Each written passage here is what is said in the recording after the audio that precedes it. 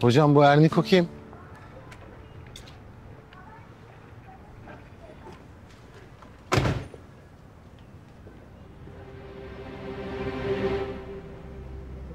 Hayırdır böyle?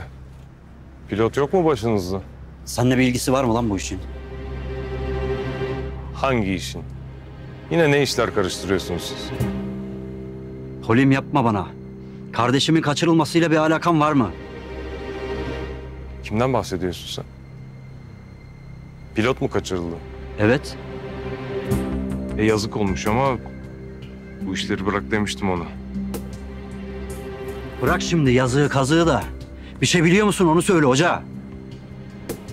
Yok. Bir şey bildiğim yok.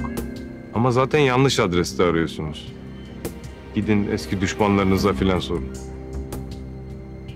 Hadi Hüdaverdi, işimiz var. Gidelim biz. Tamam hocam.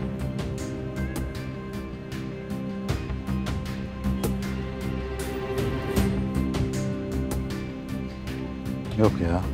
Bununla bir ilgisi yok. Baksana. Haberi bile yok. Ne olursa olsun bulacağım kardeşimi Ekrem.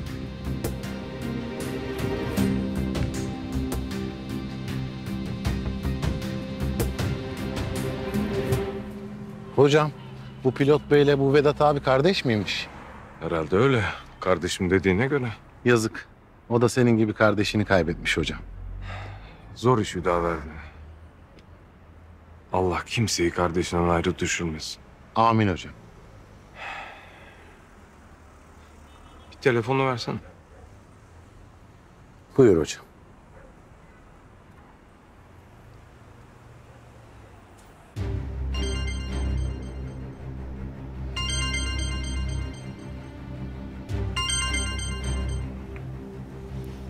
Efendim, Ben Ali. nasılsın Ali? Kardeşimin Erniko'nun yanında bulunduğuna dair bir bilgi edindim. Doğru olabilir mi bu? Hiç sanmam. Yıllarca Erniko'yu takip altında tuttuk. Eğer öyle bir şey olsaydı bundan haberimiz olurdu. Peki.